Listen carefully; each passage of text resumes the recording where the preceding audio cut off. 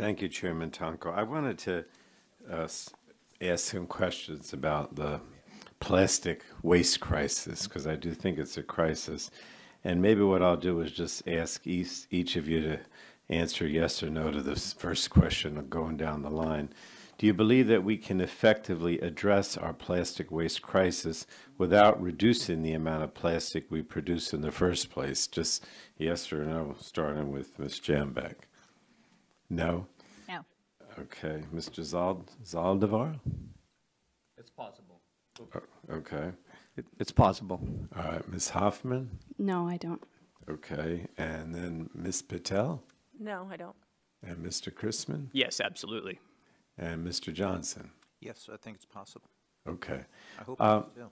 What'd you say, Bill? And I hope it is too. Okay.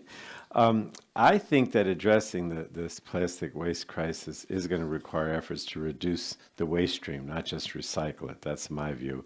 And I think, I think we have to learn from our past experience with recycling and avoid relying again on strategies like exporting contaminated materials, which allowed us to ignore our waste without actually addressing it.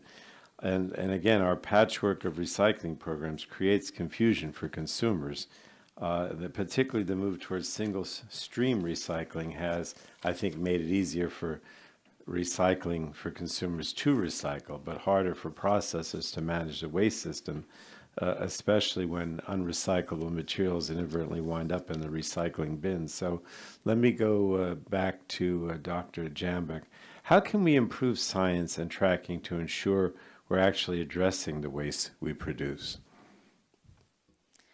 Yeah, so I've seen a few um, programs throughout the world in terms of tracking materials better. Um, some of them include um, RFID uh, tracking of materials, which we have done here. Um, in some cases, when people get their waste collected at their home, there was a program uh, called Recycle Bank, and that was sort of credited to those people.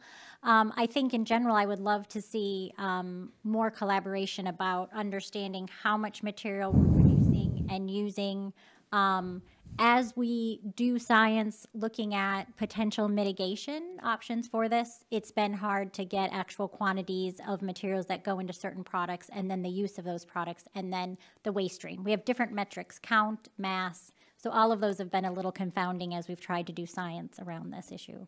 Okay. Ms. Hoffman, you referred several times in your testimony to materials that are authentically recyclable. And I, I think that term captures the disconnect between what we thought we were recycling in the past and what was just being dumped. Are there any strategies being used or discussed in the recycling arena today that you see as inauthentic? Um, certainly.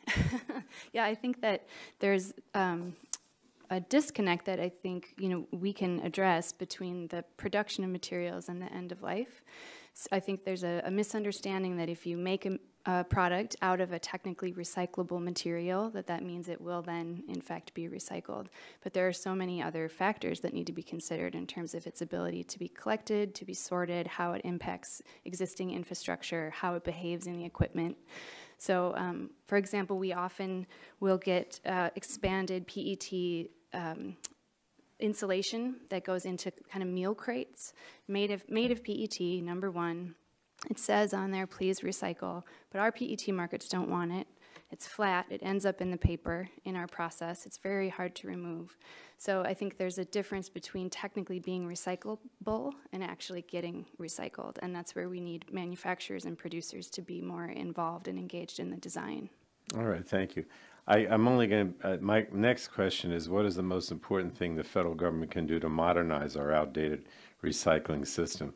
I don't think I'm going to get a response from more than one. So let me go on the other hand here with Mr. Johnson. What do you think we should do to modernize our recycling system? Well, there's a lot of, excuse me, there's a lot of techno, new technologies that are coming onto the market. And so it's, you could, there can be things like business incentives, tax incentives for businesses to, uh, for the recyclers to incorporate those new technologies would be the first one.